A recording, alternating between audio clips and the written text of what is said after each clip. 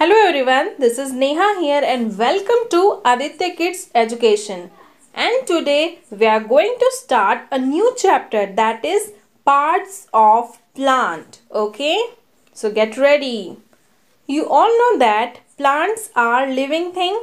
They grow, they breathe, feel and reproduce.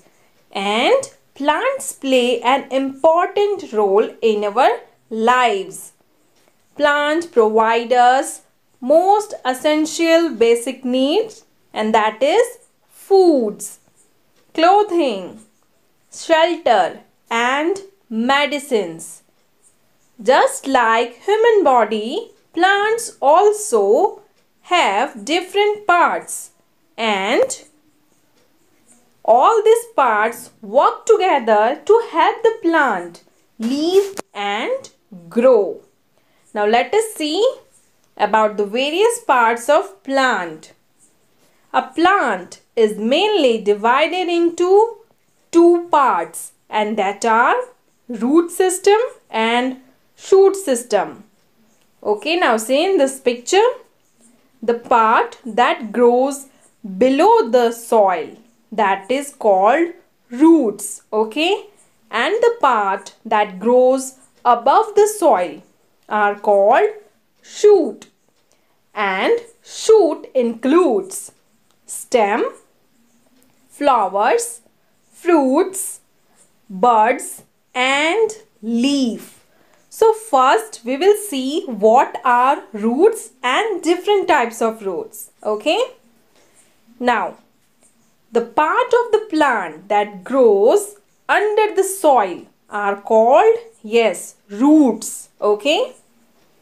Roots are mainly of two types. First one is tap root and second one is fibrous root okay?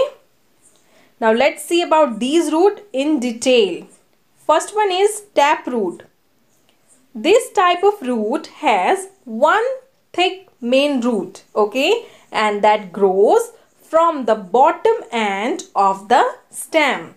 It goes into the soil. Okay. The main root grows straight down the earth and many small thin side roots grow from the main roots. These are tap roots. Plants like carrot, beetroot, turnip, etc. have tap roots. These are the examples. Next type of root is fibrous root.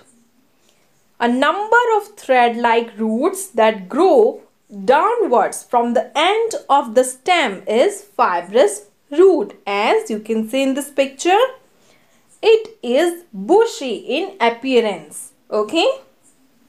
Plants like onion, wheat, rice and grass have fibrous roots. These are the examples of fibrous root.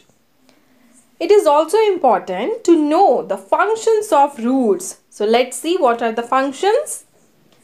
First one is roots fix a plant to the soil. If, imagine, if there is no root in the plant, okay, then what will happen?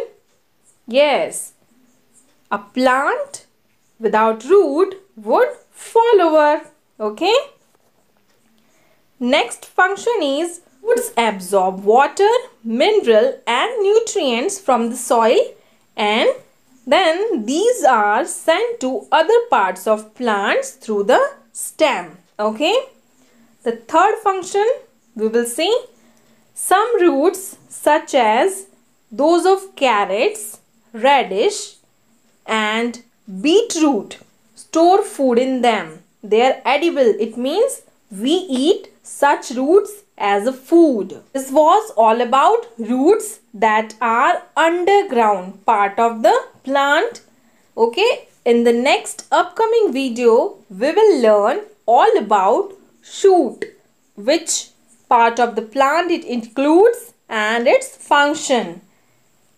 And still if you have not subscribed my channel then first subscribe it and don't forget to press the bell icon. Till then, stay safe and have a nice day.